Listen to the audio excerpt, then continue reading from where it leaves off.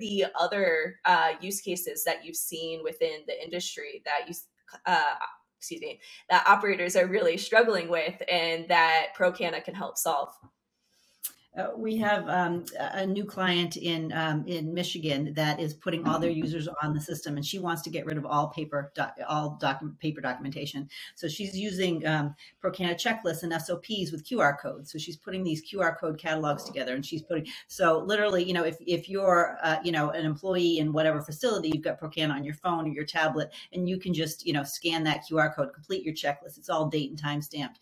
You know, I mean, I think of the Curaleaf, you know, wrongful death, you know, it, it, sometimes you know we're never going to prevent all mistakes and right. and um, you know we're, we're, human right and that's never you know i mean that's the goal but i mean you know that's unrealistic but if if a company has a system in place and they can document that people are following a system even if mistakes are made fines are reduced you know i mean just you prove that that that proof that you have a you uh, have a compliance system in place you know that it's not a paper system it's actually a system in place. It not only helps the employees actually do their job better and improves morale but it also protects the company. And you know if somebody makes a mistake mistake but you have documentation that you know you meant to do it right that goes a long way. Um, so you know that, that that whole like qr code and you know literally you can have a qr code on um, an extraction machine machine and you can pull the manual up you know you can pull up the different pol- uh, procedures for that machine. So that whole just ease of access of information i think is is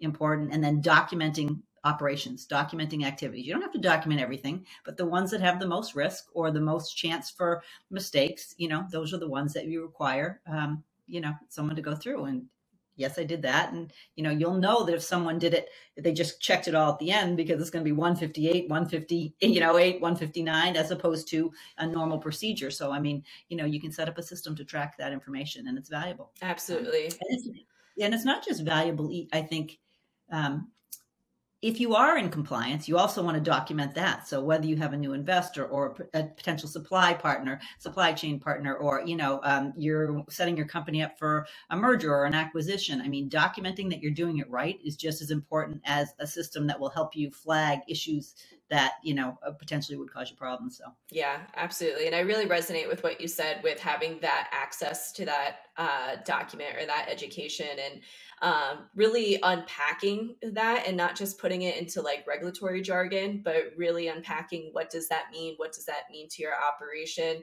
And breaking that down into layman's terms. Again, we already said in this conversation the people that are plant touching are not in the regulations day in and day out. So you need to make their jobs as easy as possible. And to have that little QR code, that is such a great idea. Uh, how do you come up with that? you know it's just we're pretty new in the market and we just you know we're, we're talking to people we're, we're always looking to grow and to improve our platform you've heard me say it before ProCanna is never going to be done but it came out of a conversation we're like okay that's a cool idea and you know and it, it yeah so all of these every week every month you know we're figuring out new ways to use the product and you know new areas that we want to build out or what we want to tweak. So yeah that, that was a big one. Awesome. That's so exciting